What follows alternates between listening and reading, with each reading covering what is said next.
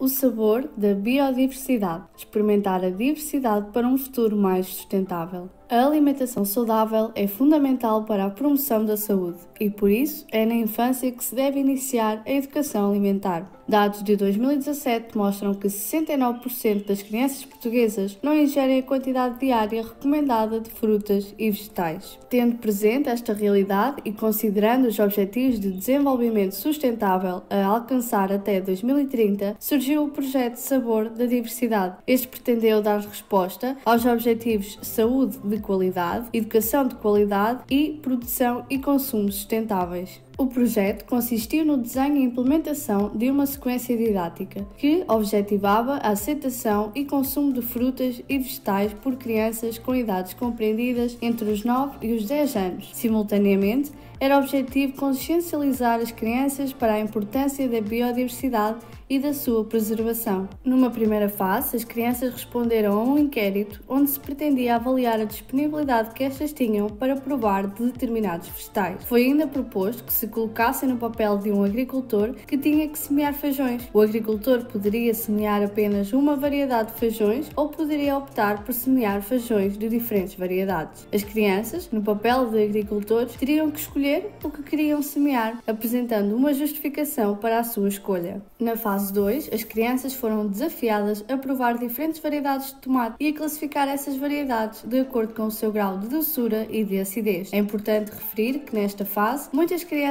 provaram pela primeira vez variedades de tomate que até então desconheciam. Na fase 3, analisaram-se os resultados obtidos relativos a essa classificação. Nem todas as crianças classificaram as diferentes variedades da mesma forma, mas por que razão a classificação não foi sempre igual? Na tentativa de encontrar possíveis explicações, as crianças levantaram diferentes hipóteses. Algumas dessas hipóteses foram testadas recorrendo ao trabalho experimental. Por fim, as crianças responderam de novo ao mesmo inquérito aplicado na fase 1. A análise dos dados obtidos permitiu-nos retirar algumas conclusões. Esta proposta educacional, que se mostrou efetiva, pode ser adotada pelas escolas com maior regularidade, promovendo o consumo de outras frutas e vegetais. Esta prática poderá contribuir para a prevenção do excesso de peso nas crianças. A implementação do trabalho experimental potenciou o desenvolvimento de diversas competências científicas e atendeu às características específicas de cada criança, reconhecendo, respeitando e trabalhando a partir da diversidade de gostos e preferências exibidas pelos alunos, contribuindo para uma educação de qualidade